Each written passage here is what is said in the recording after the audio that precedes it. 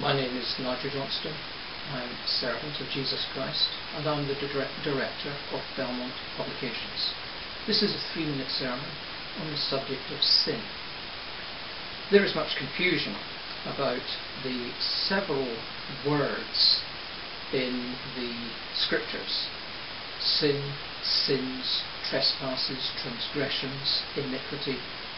There is some confusion in both the translation of the scriptures and also in the way people talk of them. And they're important matters, and we should understand what we're talking about. In this talk, I'm speaking specifically about sin. In particular, the Greek word commonly translated either sin in the singular or sins in the plural, the word hamartia. The word hamartia comes from the word martus, which is a witness or a testimony. When the a is added to it, a martus, it becomes a negative. It is the contradiction of a witness or a testimony. And then the word has a breathing added to it to become hamartia. Amartia or hamartia. The contradiction of witness. Something has been testified to something has been demonstrated or witnessed to demonstrably and clearly, and one contradicts it. Amartus. This is sin. It's the contradiction of that which has been logically, properly demonstrated and shown in an expression of witness or testimony. And one contradicts that either in one's attitude or in one's actual actions. Sin is a matter of a spiritual state. Sin is something spiritual. The result of that spiritual state is activities or actions which in themselves demonstrate the sinful state within and thus are sins themselves.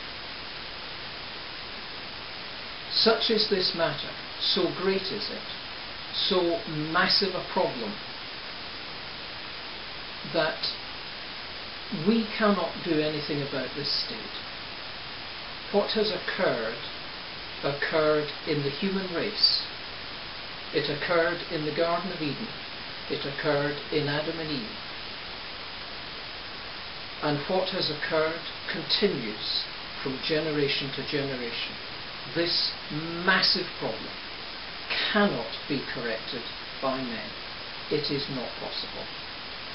God has done something about this matter. God condemned sin in his own Son Jesus Christ in his crucifixion and death. We read that God made his Son Jesus Christ sin. He was made sin this evidently was not an act of men, it was an act of God. Men crucified Jesus, of course, but during that process, God also did something. He made him sin. Dying in that state, sin was thus judged in the death of Jesus Christ and was thus destroyed. Here and here only is the answer to sin hamartia, the contradiction of witness. This has been a three minute sermon. My name is Nigel Johnstone. I'm a servant of Jesus Christ and the director of Belmont Publications.